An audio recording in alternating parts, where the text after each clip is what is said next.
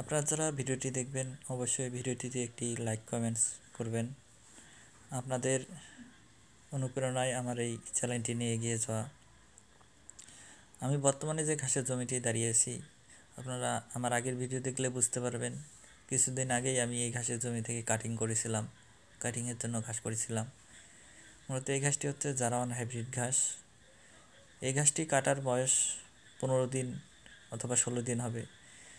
কাটার পরেই দেখুন ঘাসটি গরমের ভাবের কারণে এত দ্রুত বৃদ্ধি পেয়েছে যা আমি নিজে অবাক হয়ে গেছি। ঘাসটি ফলন আপনারা লক্ষ্য করুন। কয়েকদিন আগেই কাটা হয়েছে মাত্র তিন থেকে চার ফুট পাতা উচ্চতা হয়ে গেছে এই ঘাসটির। এই ঘাসটি এত দ্রুত বৃদ্ধি পেয়েছে যা বলার বাইরে এবং কি ফলনও মার্শাল্লাহ অনেক ভালো হয়েছে। আমি এখন পর্যন্ত কোনো সার প্রয়োগ করিনি।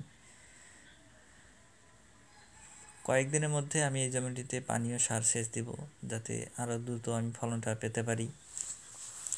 আপনারা দেখতে পাচ্ছেন, আমি দুই ফিট বাই তিন ফিট করে রোপণ করেছি এই ঘাসটি। কোনো জায়গা দেখা যাচ্ছে না, জমিতে ঘাস দিয়ে পরিপূর্ণ হয়ে গেছে জমিটি। ঘাসটি দেখতেও যেমন সুন্দর, এটি গবাদি পশু খেতেও অনেক ভালোবাসে। বর্তমানে উচ্চ ফলনশীল জাতের মধ্যে চারা হাইব্রিড ঘাস এটি।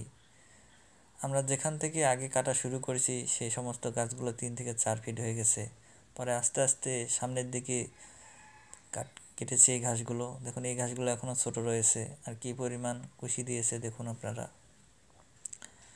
আমি লাইন করে চাষ করেছি, আপনারা দেখতে পাচ্ছেন।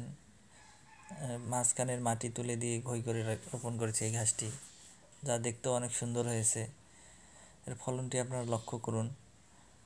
আপনারা যারা এই ঘাসের কাটিং সংগ্রহ করতে চান, যারা অন হাইব্রিড ঘাস, লাল পকচং ঘাসের, আমার দেওয়া নাম্বারে সরাসরি যোগাযোগ করে এই ঘাসটি কাটিং সংগ্রহ করতে পারেন। আমরা সারা দেশে কুরিয়ারের মাধ্যমে এই ঘাসের কাটিংটি দিয়ে থাকি।